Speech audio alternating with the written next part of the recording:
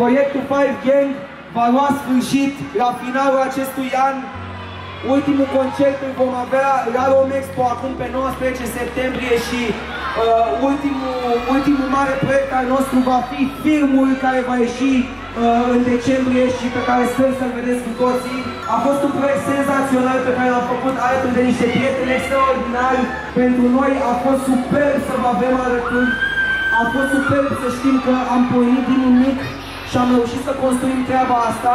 Vă iubim pe toți, sunteți extraordinari și vreau să vă spun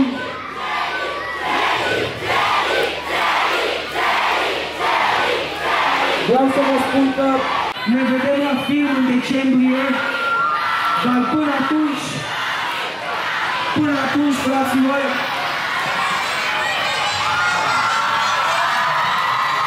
până atunci, fraților, Salut, eu sunt Sherry și trebuie să vă recunosc că momentul ăsta a venit un pic mai repede decât mă așteptam chiar și eu. Însă am luat împreună o decizie și eu cred că e decizia cea bună. O să vorbim despre multe chestii în acest videoclip, însă vreau să vă spun din start despre ce e vorba. Anul ăsta proiectul Five Gang ia sfârșit. Concertul nostru de pe 19 septembrie, de duminica asta, o să fie ultimul pe care îl vom susține, iar ultimul proiect al nostru va fi filmul Tabăra de Vară, care va ieși în cinematografe pe 27 decembrie. Probabil că vă întrebați de ce, iar noi suntem aici ca să vă răspundem. Am început proiectul ăsta acum 4 ani de zile și prima noastră piesă a fost trasă în șifonier. Era propriu tras în Deci, șifonier. bune, Chiar am da. tras în șifonier. Și măcar ați avut un ciorap pe microfon. Chiar a sau fost. ceva. Normal. A fost. Noi nu ne-am propus niciodată să ne luăm în serios ca artiști, însă vouă v-au plăcut atât de mult piesele noastre încât ați dus și pe 1 și pe 2 în trending simultan de multe ori, adică piesa era pe 1, teaserul era pe 2. Noi am început treaba asta din pasiune și din prietenie și nu vrem să o forțăm mai mult decât este cazul. De aproape 4 ani am muncit împreună și pe lângă faptul că am doborât niște recorduri, am și regat niște amintiri cu care o să rămânem toată viața. Pe 22 decembrie 2017, la o zi după ce am împlinit 5 ani de YouTube, am lansat prima noastră piesă singură acasă, aia trasă în șifonier de care v-am mai zis. Și în câteva ore a fost locul 1 în trending, ceva la care nu ne-am așteptat niciodată. Tot în perioada aia am început să facem o grămadă de vloguri împreună. După aceea în aprilie am dat drumul la DM, însă treaba a luat o super amploare abia atunci când am lansat focuri pe 1 iulie 2018. Eram foarte tineri atunci și am pus foarte multă pasiune în ceea ce făceam, lucru care s-a văzut în rezultate. Mulți ne-au spus că nu o să rezistăm mai mult de un an, dar uite că peste 4 ani suntem încă aici, încă împreună și încă producem rezultate, încă suntem relevanți și cred că cel mai important, încă suntem prieteni. Am avut de lungul timpului parte de foarte multe aprecieri, însă ne-am confruntat și cu hate, foarte mult dintre ele venit din invidie, pentru că o grămadă de oameni nu puteau să suporte faptul că o trupă formată din niște oameni care n-au nicio legătură cu muzica face mai multe vizualizări decât artiști consacrați din România. Din acest motiv, probabil, Five Gang nu a intrat niciodată pe radio, însă în online piesele noastre au strâns peste 280 de milioane de vizualizări combinat. Și hai să ne aducem aminte când eram uh, pe radio în uh, Bulgaria. Bulgaria Am și intrat, alte exact. țări. Nu ne-a difuzat niciodată un post de radio în România. Cred că singura excepție a fost Nicolae odată care a insistat să pună odată piesa noastră pe Virgin, dar în rest niciun radio din România nu ne-a difuzat și cu toate astea am intrat în top pe radio în Bulgaria, ca să înțelegeți. Deci din simpla concepție a oamenilor că bă, ăștia nu sunt artiști, n-au ce căuta pe radio. În fine, în online 280 de milioane de vizualizări au adunat piesele Five Gang și vlogurile noastre au adunat alte sute de milioane. Nu o să uit niciodată diminețile în care ne trezeam cu noaptea în cap ca să mergem să ne filmăm videoclipurile. Nu o să uit niciodată concertul de la arenele romane unde am făcut cel mai rapid sold out din istoria arenelor romane și am fost nevoit să facem două concerte pentru că voi ați cumpărat 10.000 de bilete și capacitatea arenelor era de doar 5.000 de locuri. Nu o să uit niciodată turneul nostru prin țară din 2019 și toată distracția din dubă și de pe drum și mai ales entuziasmul vostru din fiecare oraș atunci când ne vedeați. La 2 ani de când am lansat proiectul, am făcut un film. N-aveam cele mai mari așteptări de la el pentru că toți eram la început cu actoria, iar filmul a costat doar 300.000 de euro, ceea ce știu că pare mult, însă pentru un film e foarte puțin. Dar cu toate astea, voi ați iubit acel film. A devenit foarte rapid cel mai vizionat film românesc din ultimii 24 de ani. Efectiv, din 1995 încoace nu a existat un alt film românesc care să fie mai vizionat decât Five Gang la momentul acela. Vă dați seama că noi am depășit cu Five Gang orice alt film românesc lansat în timpul vieții noastre? Că nu e nimeni Și a născut scos înainte și, de a, 95. a scos și Bahoi film în timpul ăla și tot nu a depășit, da? E ceva.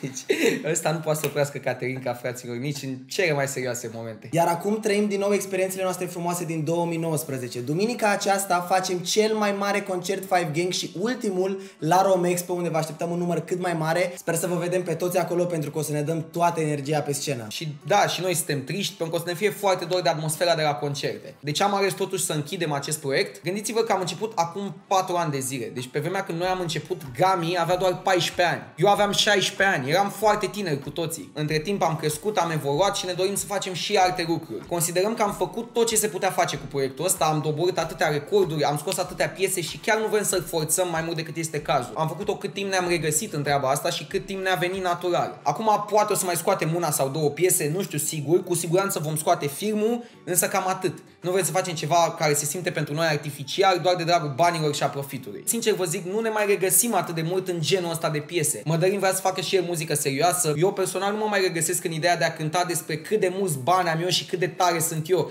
Ironic, pe vremea când n-aveam atât de mulți bani, mi se părea tare să cânt despre treaba asta, mi se părea cool, acum mi se pare răi. În piesele noastre e vorba foarte mult despre lucruri materiale, despre bani mulți, despre case scumpe, despre mașini puternice și scumpe și așa mai departe. Și de multe ori am fost acuzați că transmitem un mesaj greșit cu piesele astea. Bine, mesajul ăsta se regăsește în toată muzica care e în trending acum, adică în toate piesele trap și în toate manierele se regăsește exact același mesaj la bază pe care îl regăsiți în 5 Gang. Dar lumea ne-a acuzat pe noi foarte des că transmitem un mesaj greșit prin versurile respective. Și vreau să înțelegeți că tot ce avem noi, toți banii pe care i-am făcut, i-am făcut prin munca noastră. I-am făcut pe cont propriu. Toți din încăperea asta muncim încă de când eram foarte, foarte mici pentru a ne îndeplini visele. Și doar așa, prin multă muncă, am reușit să facem banii despre care cântăm acum. N-au căzut din cer banii ăștia și nici nu i-am primit de la părinți, așa cum ne acuză unii sau alții că am fi niște copii de bani gata. Nimic mai fals. Eu n-aveam un reu în buzunar acum 9 ani când am început să fac treaba asta. Și vreau ca și voi să înțelegeți treaba asta, pentru că noi în piesele noastre vorbim mereu despre succes, dar nu vorbim atât de mult despre cum am obținut acest succes. Succesul a venit doar prin muncă și muncă consistentă, nu prin combinații, nu prin învârteri,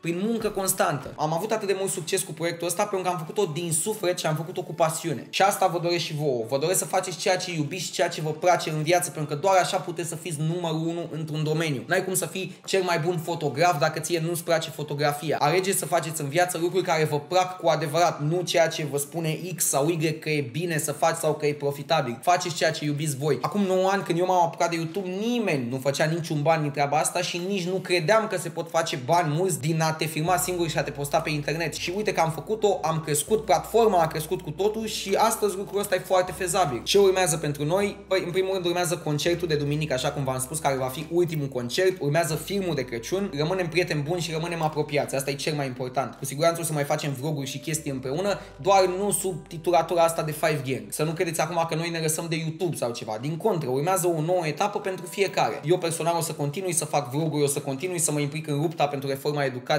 o să continui să fac conținut cât mai de calitate și nu doar pentru YouTube, cât și pentru alte platforme sociale, pentru TV, pentru chestii cum sunt Netflix sau HBO. Vreau să fac conținut cât mai de calitate. Dar nu neapărat în stilul clasic 5 Gang de conținut pe care probabil că îl cunoașteți cu toții. Însă o să fie bine, credeți-mă, și o să vă placă foarte mult direcția în care ne vom îndrepta fiecare dintre noi. Uite, de exemplu, eu vreau să fac muzică mai adevărată față de cea din Five Gang pentru că nu m-am mai regăsit în ultima vreme în ea. Cu toate că mi-a plăcut, concertele sunt foarte mișto, mai ales vibe-ul vostru este foarte mișto. Noi am făcut muzică la Caterinca. Mădălin are o carieră muzicală solidă în spate, omul are voce și poate să-și construiască ceva foarte big pe marea scenă a industriei muzicale. Nu ne lăsăm de YouTube, doar trecem la următorul nivel. În ultimii 4 ani, Five Gang a fost nucleul activității noastre și am făcut tot ce se putea face cu acest proiect. Dar acum e momentul să ne continuăm fiecare proiectele independente și brandurile independente pe care le-am format. Noi vă mulțumim enorm că ați crezut în proiectul nostru și știm că o mare parte dintre voi au crescut cu noi și cu piesele noastre. Vă așteptăm la ultimul nostru concert pe 19 septembrie la Rome Expo. Chiar va fi ultimul, vorbesc că se poate de serios. De asemenea, nu uitați că dacă vă luați bilet până pe 17 septembrie, adică cu două zile înainte, eu o să aleg un câștigător dintre cei care și-au luat până atunci bilet, un câștigător pe care eu personal o să-l iau de acasă și o să-l duc cu mașina la concert. Vă dau o tură cu mașina, ajungeți în backstage, faceți poze și cu noi și cu invitații speciali. O să fie super, super tare și fiind ultimul concert, vă asigurăm că o să ne dăm toată energia pe scenă pentru voi. O să fie, cred, ultima dată când o să ne vedeți pe o scenă mare împreună și de asta îmi doresc să fiți toți acolo. Și desigur, în decembrie